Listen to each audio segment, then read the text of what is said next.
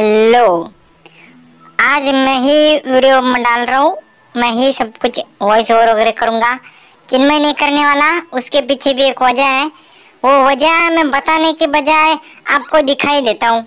ये माँ मैं जा रहा हूँ गेम खेलने के लिए। बाद में मैं पढ़ाई कर लूँगा ठीक है ना? उधर रुक। कहाँ जा रहा है साले। पढ़ाई वढ़ाई तो कभी करता नहीं है। बेकार में बुक्स लेके बैठा है। कब करेगा पढ़ाई? अरे ऐसा क्यों बोल रहे हो? मैं बाद में पढ़ाई कर लूँगा। फ़िलहाल गेम खेलने दो यार। रुक तेरा गेम तो अभी मैं बजाती हूँ। कब से गेम गेम लगा के बैठा है? गेम में सबको पेन मारते रहते हैं। अब मैं तेरे को पेन मारती हूँ। रुक रुक। ये अरे बाप रे इससे पहले कि पेन से मेरा सिर फूट जाए भाग ले बेटा चिन्मय। इतना तेज भाग के हाथ में ना आ पाए किसी को भाग ले। अब कहाँ भाग के जाएगा? अब ये ले। अरे माँ नहीं नहीं मेरे को ज़ोर से लग रहा है। अरे माँ नहीं आज के बाद गेम कम खेलूँगा। मेरे को जाने दो छोड़ दो। मेरे को माँ माँ मेरे को छोड़ दो। नहीं। तो अब आपको पता ही चला होगा मित्रों तो आज एपेक्स गेम्स के अंदर मैं आपको मिलाने वाला हूँ अपने दूसरे लेजेंड से। सबसे पहले मैं जिसकी स्टाइल कभी जाती नहीं, किसी को आती नहीं और मेरी जाती नहीं। एनिमी के सामने ऐसे स्टाइल में खड़ा रहता है मैं। भले ही मैं बिना वेपन्स के हाँ हाफ़ एच पे में खड़ा हूँ और एनिमी पूरा मस्त आर्मर वार्मर गन लेके खड़ा हो, लेकिन उसके सामने मैं अपना ऐसा स्टाइल में खड़ा रहता हूँ। यही मेरी आदत है। वैसे मैं इंडस प्लेनेट पे वेकेशन के लिए जाने की सोच रहा हूँ। क्या ख्याल है? बस ये इंडस की बड़ाई बाद में कर लेना। वैसे मेरे को भी इंडस की बहुत याद आ रही है पता नहीं कब आएगा। इंडस की बड़ाई बाद में कर लेना पहले लेजेंड से तो मिलाओ। अरे यार करना पड़ता है। इंडिया का गेम है तो इंडिया वाले सपोर्ट करेंगे ना यार। आप इंडस को करोगे क्या सपोर्ट कमेंट में बताओ। तो मित्रों ये है जिब्राल्टर ये एक रेसलर है। Um, ये रेसलर होने के बावजूद ये बॉक्सर वाली पोजीशन में क्यों है भाई? आए मैं बचपन से बॉक्सर बनना चाहता था लेकिन पिताजी ने ज़बरदस्ती कुश्तीबाज बना दिया। इसलिए मैं रेसलिंग करता हूँ।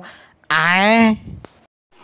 आए मतलब मित्रों इससे पहले कि ये हमारे कान खा जाए चलते हैं अगले लेजेंड की तरफ़। ओह हेलो मेरा नाम है लाइफलाइन मैं यहाँ पर सबकी लाइफलाइन बनी फिरती हूँ। बस ये ऐसे नाच क्यों रही है बस? मत पूछो भाई जब से इसने शोले की बसंती देखी है तब से नाच रही है। रुक ही नहीं रही। गब्बर ने इसको नचाया ये समझ के नाच रही है बेचारी। आइए चलते हैं अगले लेजेंड पाथ फाइंडर की तरफ़। मैं कौन हूँ? मैं कहाँ हूँ? मैं क्या हूँ? एक मिनट। हाँ हाँ मेरे को याद है। अ, मैं क्या हूँ भाई? मैं भूल गया यार। अरे याद आया। मैं पाथ फाइंडर ब्लड हंड अपने दोस्तों से मुझे मिलवाने के लिए आया था। हेलो दोस्तों।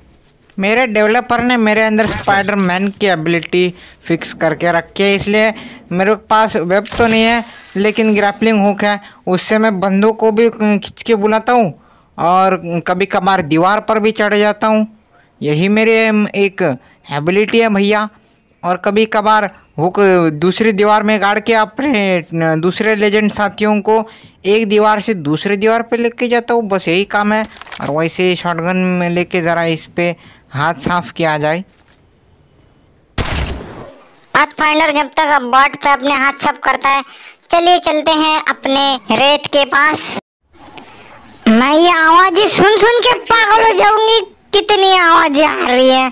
उस साइंटिस्ट को छोड़ूँगे नहीं। साले ने मेरे पे ऐसा एक्सपेरिमेंट किया, मैं खुद ही से बात कर रही हूँ।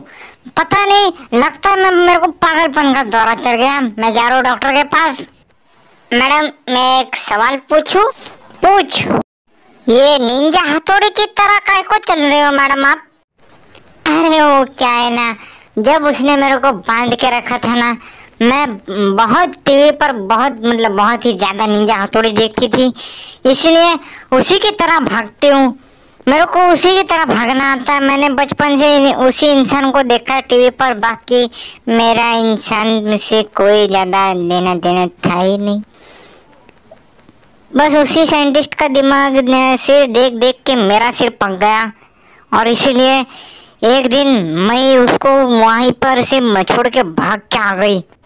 तो मित्रों, इससे पहले ये मोहतरमा भी अपनी कहानी शुरू करे। चलिए चलते हैं ऑक्टेन के पास।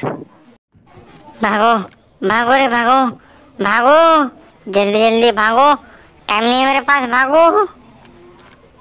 भागो भागो। ए भाई, तुम ऐसे क्यों भाग रहे हो भाई? हाथ में गन की जगह बम दे दिया क्या किसी ने? मुझे जाने दे यार। पेट में बम फूट रहा है, इसलिए भाग रहा हूँ। अगर मुझे इधर रोक के रखा तो बम इधर ही फट जाएगा। सॉरी जाओ जल्दी जाओ जल्दी जाओ।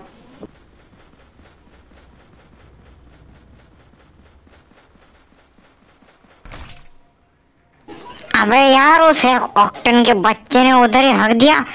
अरे यार, मैंने अपनी गन उधर क्या को रखी? अब इसको धोने जाना पड़ेगा। चल, इसको अभी धोने चलती हूँ मैं। जब तक रेत अपनी गन को धोकर ऑक्टन को मार देती है, तब तक अपन अपने नेक्स्ट लेजेंड फेड की तरफ़ चलते हैं। हाय, मैं हूँ फेड मेरी उम्र तेईस साल की है। तू यहाँ पर सबको अपना परिचय देने के लिए आया या अपने जन्म कुंडली बताने के लिए आया। इधर क्या तेरी शादी वादी चल रही है क्या? हाँ, क्या बताओ यार। अकेले ज़िंदगी जा रही है। उस अननोन मिस्टीरियस मैन ने मेरे भाई को मेरे दोस्त और मेरे पिता को मार दिया। अब इधर मैं अकेला बैठा हूँ। काश यार इधर ये बॉट्स की जगह इस ब्लड का सर होता। तो कितना अच्छा लगता नहीं? फिर जब तक अपने पिताजी के किलर को ढूंढ रहा है तब तक चलते हैं अपने नेक्स्ट लेजेंड रेवनेट के पास Why are you running? Why are you running? को भाग रहा है भाई तू अरे क्या बताओ यार उस लोभा ने मेरे पीछे अपने कुत्ते छोड़ दिए उसके बाप को जो मारा था यही पैसे के लिए इतना तो करना बनता ही है यार। तो उसी का बदला लेने के लिए मेरे पीछे कुत्ते छोड़ दिए। मेरे को भैया इंजेक्शन से बहुत डर लगता है। मेरे को कुत्तों के इंजेक्शन नहीं लेने। मैं इसलिए भाग रहा हूँ यहाँ से। भागो रे। तो जब तक लोबा के कुत्ते रेवनेट को खाते हैं तब तक अपन चलते अपने नेक्स्ट लेजेंड क्रिप्टो के पास। My ultimate's charged and ready.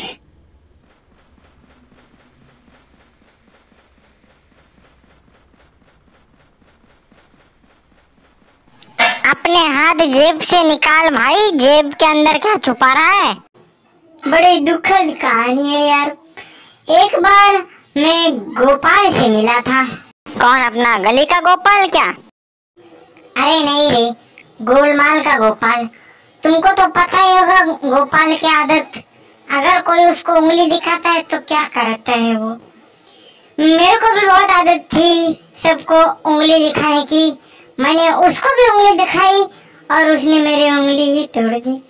तब से मैंने किसी को भी उंगली नहीं दिखाई। इसी डर में कहीं क्यों कि वो भी मेरी बच्ची कुची उंगलियाँ न तोड़ दे। मम्मी, मैंने अपना हाथ निकालने वाला भाई। तो अगर आपको आज की वीडियो अच्छी लगी तो वीडियो को लाइक और चैनल को सब्सक्राइब करना मत भूलना। अगली बार मैं तो नहीं, लेकिन चिन्मय ज़रूर आएगा। ये इसकी गारंटी तो मैं शायद दे सकता हूँ। रुक चिन्मय की पेन से पिटाई की थी। अब तेरी इस बेलन से पिटाई करूँगी। अब तो गया ब्लड हान लगता है अब मेरे को भी मार पड़ेगी। भाग लो यहाँ से।